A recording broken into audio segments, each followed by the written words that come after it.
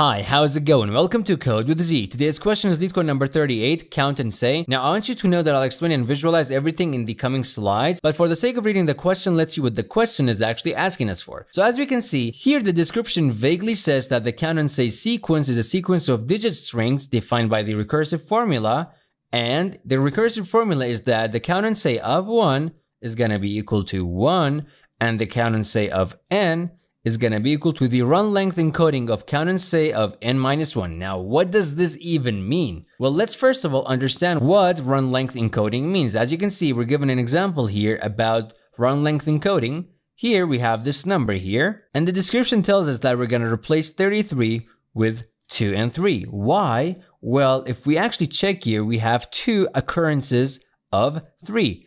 And this number here is representing the number of occurrences of the number next to it. For example, we have 33, we have two threes, the number 3 was repeated two times, and that's why we have 2 here, and this is the number that was repeated. So we have two occurrences of the number 3. If we check our other example, here we have 222, right? This was replaced by 3 and 2. Why? Because we have three occurrences of 2, and the number itself is 2.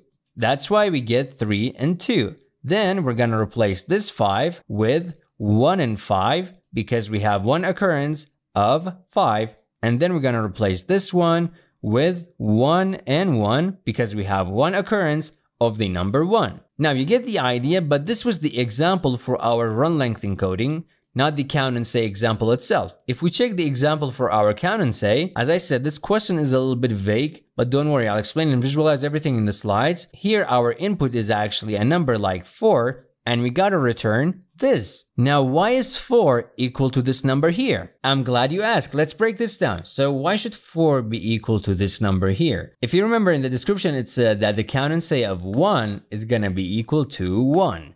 Now, why do we need this? We have 4, not 1 here, right? Correct, but the count and say of 2 is equal to 1 and 1. Why? Because when we actually count the count and say of 2, we're going to look at the previous result and we're going to be like, how many occurrences of this number do we have here? Well, we have one occurrence of the number 1. So, one occurrence of the number 1. Then we're going to calculate n of 3 and we're going to say n of 3 is going to be equal to, well, let's check our previous answer. Here we have two occurrences of the number 1. So n of 3 is going to be 2, 1. Again, 2 because we have two occurrences of the number 1 and this is the number 1 itself. Now, when we want to calculate n of 4, we're going to be like, all right, let's check the previous answer. We have 2 and 1 we have one occurrence of the number 2 and then one occurrence of the number 1. So n of 4 should be equal to 1, 2, 1, 1. Why? Because we have one occurrence of the number 2 and one occurrence of the number 1. And this is why n equaling to 4 is equal to 1, 2, 1, 1. This is how we solve this problem. For example, if our n is equal to 6, we're going to start from 1 all the way till 6 so we can see what 6 should be actually equal to. Now, we're going to need a function that's going to do this calculation for us, meaning we're going to need a function that's going to tell us how many occurrences of each number we have. And to be honest with you, this is the most important part because if we check, we're literally calling this function over and over again. Each time we're going to be like, how many occurrences of each number do we have? And we're just going to keep on calling it for the next round and the next round.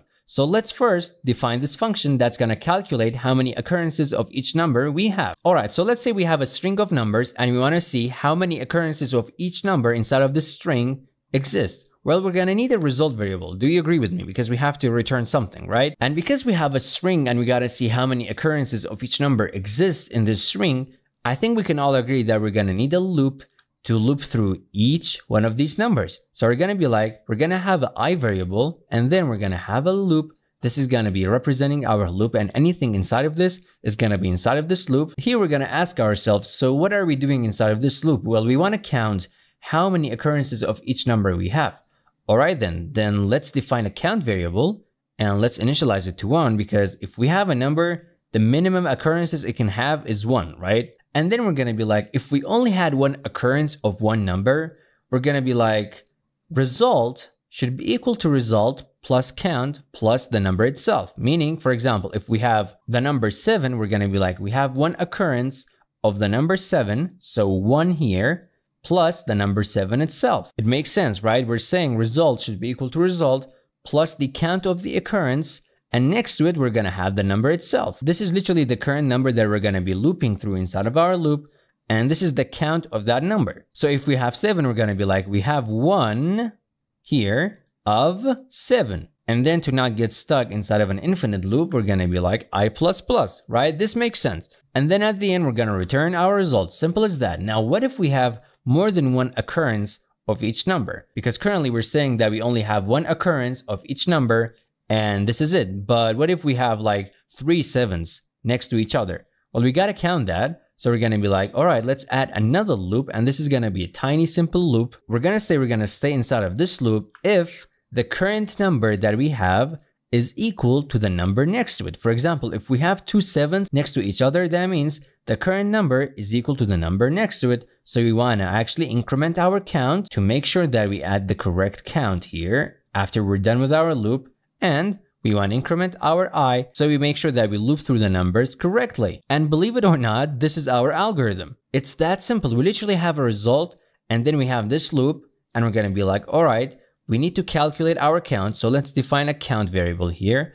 And then we're going to keep on looping inside of this other loop if the current number is equal to the number next to it. If not, we're just going to ignore all of this loop and we're going to be like result should be equal to result plus the count of that number and plus that number itself. Then we're gonna increment i to keep on looping and we're gonna return result. But if you remember, our input was something like 4, right? And if we feed 4 to this algorithm, it's gonna return 1, 4. Why? Because we only have one occurrence of the number 4. But as you saw in the first slide, this is how we should actually calculate the sequence of our n. Now currently we have this function that's going to tell us how many occurrence of each number that we have. For example, if we feed this to this function here, meaning if our s was equal to this, this function will return 1, 2, 1, 1 because we have one occurrence of 2, so 1, 2, and one occurrence of the number 1, so 1, 1. So all we need to do is to call this function from n equaling to 1 all the way till n is equal to the number that we were given. Now, how are we gonna do that? Well, let me show you in the code. Let's code this in the simplest way possible. Alrighty, so first of all, let's define the function that's gonna calculate the number of occurrences of each number inside of our string. So we're gonna call it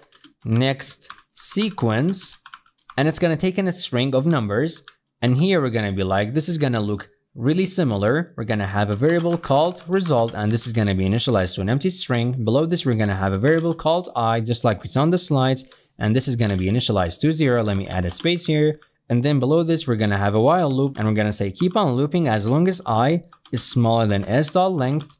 And then we're going to enter this loop because we want to keep on looping until we've checked all of the characters inside of our string. So we want to keep on looping as long as i is smaller than the length of our string.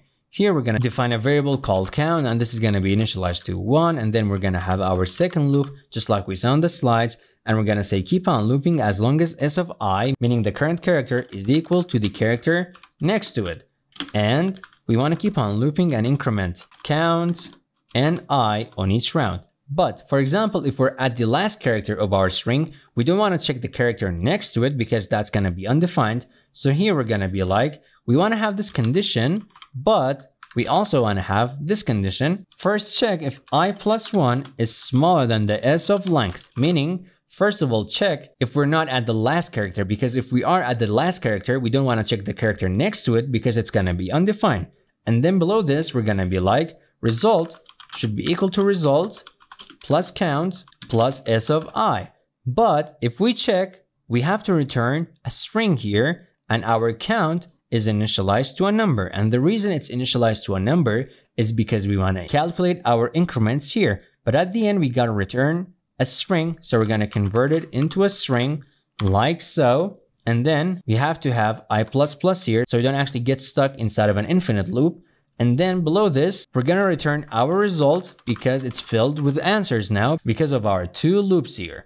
Now, this is our next sequence function and now we need to call it properly. Now, what do I mean by properly? Well, if we check here, our n is 4, and we start calling our count and say function from 1, and then 2, and then 3, and then 4. And the reason behind it, just like we saw in the slides, is because the answer of this one depends on the previous answer, and the answer of this one depends on the previous one, and this one depends on the previous one. But count and say of 1 is going to be always equal to this number. And this was given to us in the question itself. Count and say of 1 is going to be equal to the string version of 1. So we're going to use this to our advantage and we're going to say, let's define a variable called current sequence and this is outside of our next sequence function. As you can see, this is our next sequence function and I'm defining this variable outside of it and we're going to initialize it to 1.